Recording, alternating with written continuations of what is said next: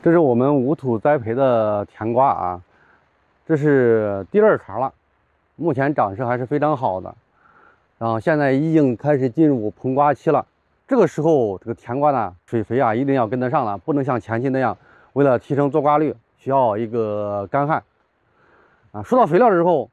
就要这个想起来啊，前两天就有我们种植户问啊，如果做这个无土栽培用肥啊，能不能？用我们市场上经常看到的那种常规的啊水溶肥去作为一个无土栽培的啊用肥，行不行？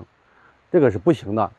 啊。原因很简单，是什么呢？市场上常见的那种水溶肥呢，啊，实际上它们是以氮磷钾含量为主，然后呢，中微量元素呢，啊，最多呢一般有一两个啊，两三个啊，然后呢，十四种生命元素啊够的几乎没有啊。更别说这些中微量元素的一个搭配合理性的问题了，它都没有，更不用谈啊合理性问题。所以说呢，这些呃常规的水溶肥是不能用于啊无土栽培去使用的，因为无土栽培呢，它这个所有的养分完全来自于人工添加啊，作物生长它的十四种生命元素，氮磷钾这个没问题，大家肯定会添添加。但是钙镁硫的使用啊，包括配比用量都不好说了。然后另外七种微量元素，铁、锰、铜、硼、锌、氯、钼啊，包括后来的镍，